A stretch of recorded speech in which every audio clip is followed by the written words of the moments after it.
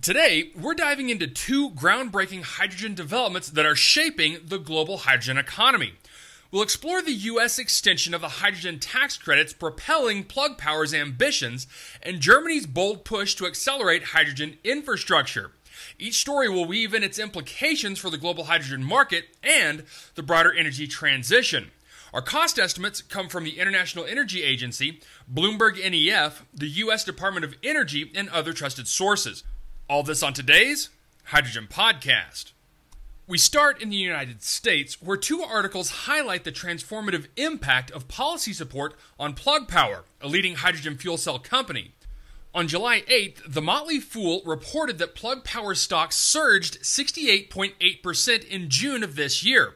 This according to S&P Global Market Intelligence, driven by the Senate's version of the One Big Beautiful Bill Act passed on June 30th which extends the hydrogen industry tax credits through January 1st of 2028, which is a two-year extension from earlier proposals that threatened to phase them out by the end of 2025.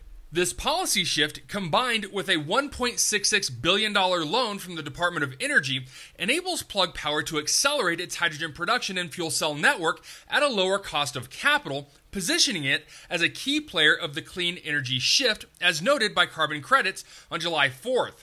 Plug Power aims to produce 500 tons of hydrogen per day in North America by the end of this year to scale to 1,000 tons per day globally by 2028, leveraging its expertise in fuel cell systems and electrolyzers.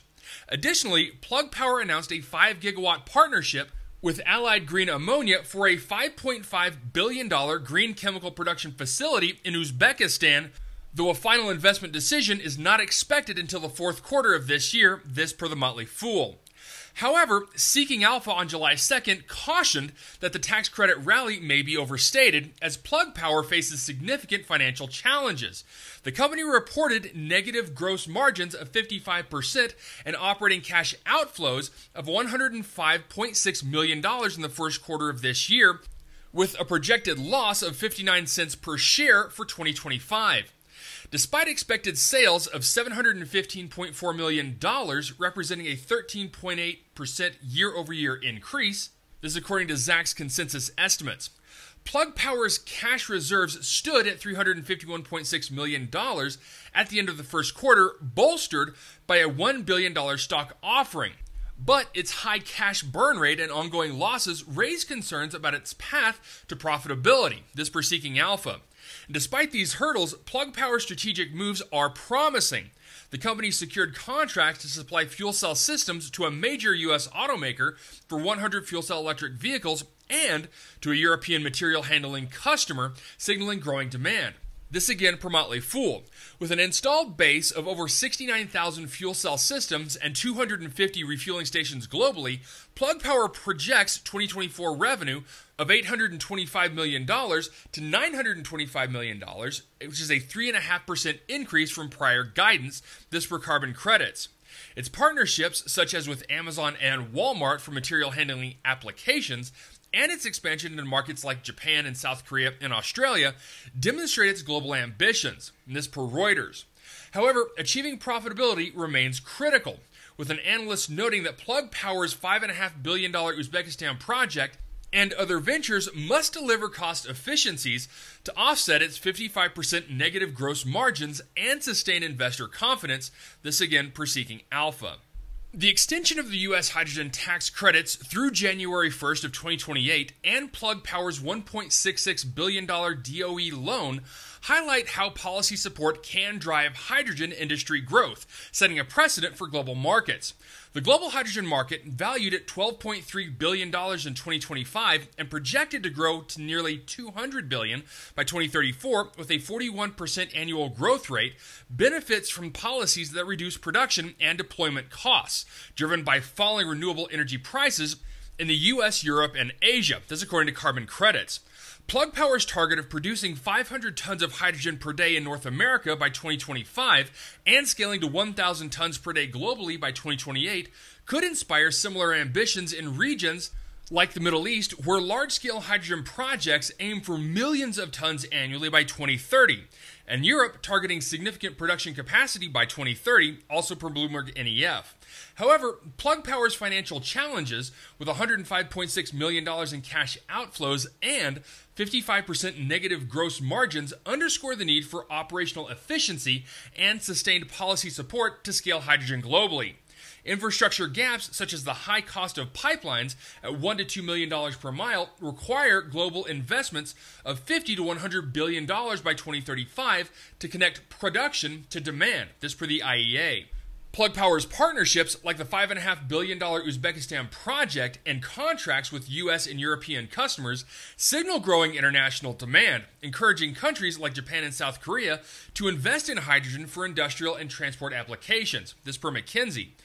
The 68.8% stock surge reflects investor optimism, but sustained growth depends on Plug Power achieving profitability and leveraging its 69,000 fuel cell systems and 250 refueling stations to build a global hydrogen ecosystem.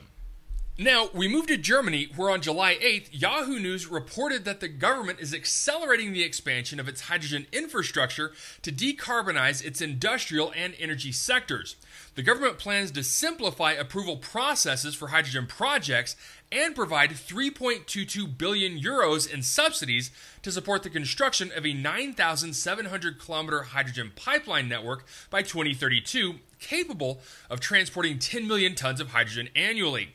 This initiative, backed by Germany's once in a generation fiscal shift, aligns with the European Union's target of achieving 40 gigawatts of hydrogen production capacity through electrolysis by 2030 supported by 992 million euros from the EU Hydrogen Bank. This according to Bloomberg NEF.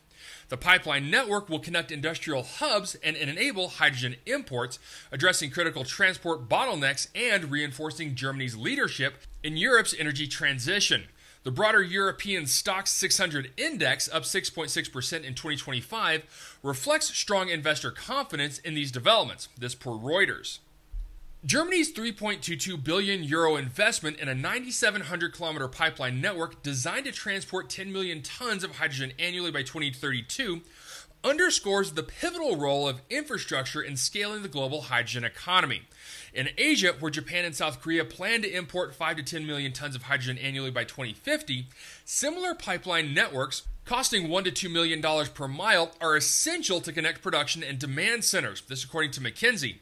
The Middle East Gulf Cooperation Council could adopt this model to export hydrogen, supporting global supply chains. This per Bloomberg NEF. The global hydrogen market projected to grow from 12.3 billion in 2025 to nearly 200 billion by 2034 with a 41% annual growth rate relies on such infrastructure to develop hydrogen to industrial and energy applications. This per carbon credits. Germany's initiative, which is backed by 992 million euros from the EU Hydrogen Bank, sets a global standard for infrastructure investment with 50 to 100 billion dollars needed for worldwide development by 2035 to enable hydrogen to decarbonize industries and energy systems. This according to the IEA.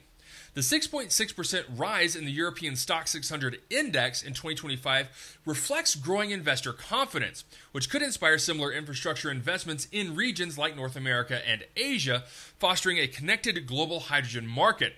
Germany's simplified approval processes and subsidies could encourage countries to streamline regulations, accelerating project deployment and supporting the energy transition. This, according to Reuters. All right, that's it for me, everyone.